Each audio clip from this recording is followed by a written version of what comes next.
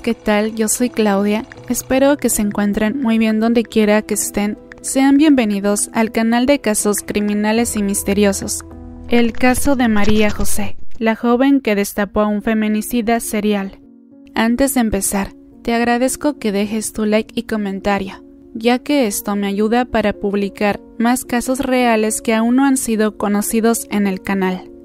El caso de María José la joven asesinada el pasado martes en la alcaldía Iztacalco ha conmocionado a la Ciudad de México y ha adquirido una dimensión aún más trágica al conocerse que el presunto agresor, Miguel N., podría ser un feminicida serial con al menos siete víctimas más. María José iba a cumplir 18 años y quería estudiar la universidad, pero en un giro lamentable, la joven de tan solo 17 años fue asesinada por su vecino dentro de su casa en la alcaldía Iztacalco. María José estudiaba el sexto semestre del Colegio de Bachilleres Plantel 3 Iztacalco. Se preparaba para presentar el examen de admisión de la Universidad Nacional Autónoma de México, institución en la que buscaba aplicar para estudiar relaciones comerciales. El próximo 25 de julio cumpliría 18 años al ser mayor de edad, le había pedido a su padre que le comprara una motocicleta. Y es que según cuenta el papá de la víctima, Ernesto, su hija María José y él siempre estaban juntos en este medio de transporte. María José era la niña más linda del planeta, era un ángel, era toda felicidad, era toda belleza, expresó su papá entre lágrimas. También se refirieron a ella como una persona educada y sencilla. Detrás de cada caso de violencia de género hay una historia que fue interrumpida, tal y como le ocurrió a María José Castillo Calles, una joven de apenas de 17 años de edad que fue brutalmente asesinada en su propio domicilio, ubicado en la alcaldía Iztacalco. La mañana del 16 de abril, María se encontraba sola en su hogar, se alistaba para ir a clases, cuando inesperadamente su vecino irrumpió en su domicilio. La lamentable historia de violencia contra la mujer comenzó la tarde del 16 de abril, cuando una madre identificada como Cassandra regresó a su departamento, ubicado en la primera cerrada de 16 de septiembre de la colonia La Cruz Coyuya. Al llegar a su hogar, la mujer halló una escena de terror, pues un sujeto estaba agrediendo a su hija María José dentro del departamento. Ella lo enfrentó, pero el hombre la lesionó con un cuchillo en el cuello en su intento de huir. De acuerdo con la Secretaría de Seguridad Ciudadana, una vecina llamó a la policía y les indicó que había escuchado gritos de ayuda en el inmueble. Los uniformados ingresaron al edificio y encontraron a Cassandra, madre de María José, en uno de los descansos de las escaleras con visibles manchas de sangre en el cuello y el rostro. Yo vivo allá y mi hijo tenía la ventana abierta, entonces escuchaba los gritos de la señora pidiendo auxilio. Y pues eh, le abrió la vecinita y mi hijo entró y la señora le, le alcanzó a abrir. Iba muy mala, ya estaba toda apuñalada. ¿Qué impresión le da a usted el saber que este señor o este individuo o sujeto, pues la, fiscalía haya encontrado restos humanos dentro de sus departamentos. pues estamos todos así como espantados, aterrados de haber tenido un vecino así, un monstruo. Y lo, que el riesgo que corrían todas las, las muchachitas de por aquí. De hecho, pues de aquí no se había sabido nadie más que hasta esta niña. La mujer señaló a Miguel N. como el responsable de las agresiones y lo identificó mientras corría hacia la parte superior del inmueble. Los oficiales lo detuvieron y tras una revisión preventiva realizada en apego a los protocolos de actuación policial, le aseguraron un arma punzocortante. Minutos después, los servicios de emergencia llegaron al lugar de los hechos para confirmar que María José había muerto como resultado de las agresiones físicas sufridas en el departamento mientras que su madre fue trasladada al hospital en estado grave, donde permanece al momento. Lo que medios mencionan es que María José sufrió abuso sexual y después le quitaron la vida por asfixia. El padre de María José declaró a los medios de comunicación. Mi hija estaba sola en la mañana porque iba en la escuela en la tarde. Entonces es normal que se quede en casa haciendo tarea, aseo, etc. Su mamá salió y cuando regresó escuchó ruidos. Abrió la puerta y vio salir a una persona de la habitación de mi hija. Entonces le preguntó qué hacía él, qué le había hecho a su hija. Le dijo déjame salir, déjame salir. El tipo la bloqueó y no dijo nada, pero cuando entró a ver a la niña la atacó y también la cuchilló. Me quitaron a mi bebé, mi vida entera, señaló Ernesto Yuelas, el padre de María José. Ernesto Yuelas reveló que el presunto responsable del crimen de su hija y agresión a su expareja es un vecino a quien lo detuvieron los mismos vecinos dentro de otro departamento. Muy bien, muchas gracias. ¿Nos puedes decir tu nombre? ¿Qué tal? Mi nombre es Ernesto Yuela, yo soy el papá de, una de las víctimas, ex pareja de, ¿Qué es lo que sabes que ocurrió? Bueno, mi hija estaba sola en la mañana porque está llevando la escuela en la tarde, entonces normal que se quede en casa haciendo aseo, tareas, etc. Su mamá salió y cuando regresó escuchó ruidos, abrió la puerta y vio salir una persona de la habitación de mi hija. Entonces este, le preguntó qué hacía ahí a él, qué le había hecho a, mi hija. Dijo, déjame salir, déjame salir. Dijo, déjame, ¿qué lista mi hija? El tipo se bloqueó, no, no dijo nada. Ella dice que lo quitó para. Bueno, no, sé, no, he hablado yo con él, pues en la Pero cuando entró a ver a la niña, la atacó y también la atacó con un pareja. Cuando vio mi, mi, expareja. ¿La niña de qué edad es? 17 años. La niña está muerta. Me quitaron a mi bebé, me quitaron a mi me quitaron a mi vida entera. ¿Esta persona la habían visto antes? ¿Es vecino? Es vecino. No sabemos de qué departamento todavía. Porque no está ni su mamá ni su. ¿Pero cómo sabes que es vecino? Por todos los vecinos. Todos ah, es lo que dicen. Y lo agarraron adentro de uno de los departamentos. Lo agarraron adentro del departamento 4 creo que ese no es su departamento, por eso no te puedo decir que este en este departamento. Si lo agarraron adentro de uno de los departamentos, eh, lo protegieron, le, taparon la cara para que no lo viéramos. ¿Y, qué es lo que pides a las autoridades? Justicia, justicia. Quiero que esta persona nunca más salga de la cárcel. Quiero que esta persona se refunda en la cárcel.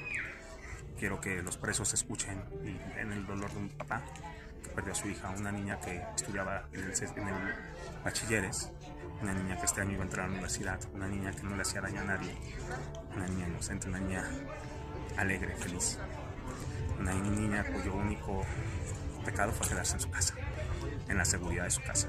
Entonces queremos que este hijo de su puta madre lo refundan en la cárcel. Presos, ayúdenme, ya saben la queja. Muchas gracias. María José Castillo Calles. Gracias por lo que nos dices, aún con el dolor que sientes. Gracias. La hermana de María José, narró a los medios de comunicación lo que vivió después de la tragedia de ese espantoso crimen. Y veo a mi mamá toda cortada de acá y de la espalda. Y digo, ¿qué onda? ¿Qué está pasando? ¿No? ¿Es en serio? Y a tocar a mi hermana me dijo, yo no puedes tocar a tu hermana. Me dijeron, no puedes. No. Me dijeron, no puedes tocarla, no toques la sangre. Me sacaron del departamento. Ya no supe qué hacer. Me quedé otra vez en shock. Dije, él es mi vecino. Sí lo conozco y yo nunca le había hablado ni le he hecho nada de malo y que yo tenga entendido que mi hermana y mi mamá le hayan hecho algo nada. Después de que el caso comenzara a cobrar relevancia, empezaron a surgir nuevos detalles, como el hecho de que Miguel N. era un químico que vivía en el edificio y tenía un trabajo estable. Esto explicaba por qué nunca había levantado sospechas entre los vecinos que lo veían a diario. Un día después de los hechos, personal de la Fiscalía General de Justicia de la Ciudad de México ejecutó una orden de cateo en el domicilio ubicado en la colonia La Cruz, en el que encontraron diversos restos óseos, rastros biológicos, un serrucho, libretas, identificaciones oficiales de mujeres, rastros de sangre, teléfonos celulares, discos compactos y una memoria. Este viernes, en un mensaje a la prensa, Ulises Lara López, encargado de la Fiscalía, confirmó que los indicios hallados en el departamento de Miguel N. señalan claramente la existencia de un posible feminicida serial, quien estaría relacionado con la desaparición de varias mujeres reportadas ante la Fiscalía de Investigación y Búsqueda de Personas. Como resultado de esto, especialistas de la Coordinación General de Investigación Forense y servicios periciales están actualmente llevando a cabo análisis genéticos para establecer de manera definitiva la identidad de las personas a las que pertenecían los restos humanos encontrados en la propiedad.